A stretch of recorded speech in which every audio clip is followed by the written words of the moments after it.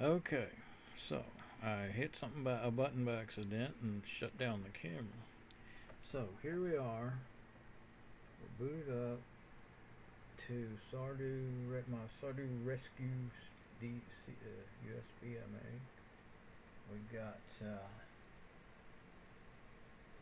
let's see, I can't see it. Tools. First thing is default root from the hard drive, which we know is not working in Windows 7 tools, which is some uh, really cool Linux tools software that uh, comes with sort every Sardu uh, install or how you gonna say it. Uh, antivirus on there and Linux. So it's one of the tools because that's actually what I'm really looking for. Okay, let's see. Um, Super Grub Disk. Let me get over here where I can see it.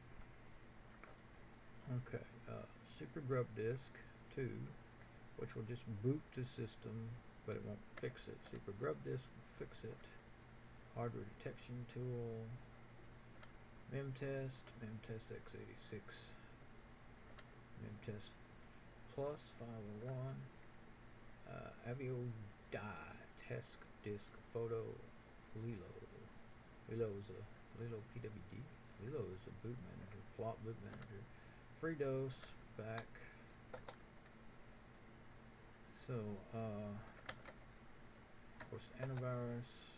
That was what I was actually thinking of doing is running antivirus on. Then I thought, wait, I ran. Well, that doesn't mean anything.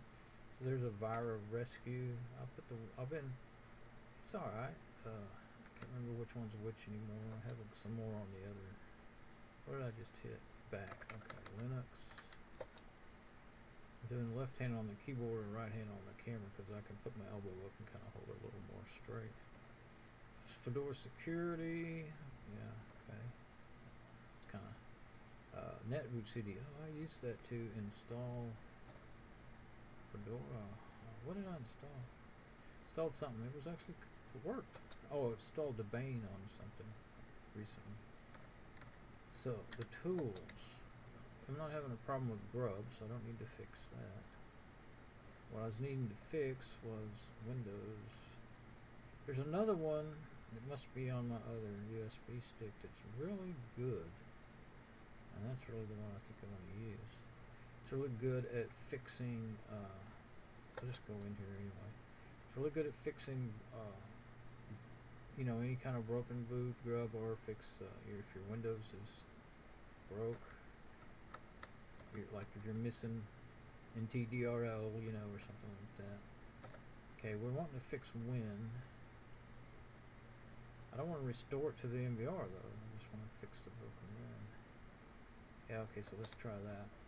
This is the original Grub, and it, it works good on the older. Didn't do anything.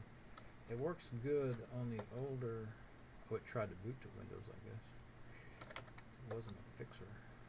I can't remember, it's been a while, but it worked really well on the older systems. And I'm not using um,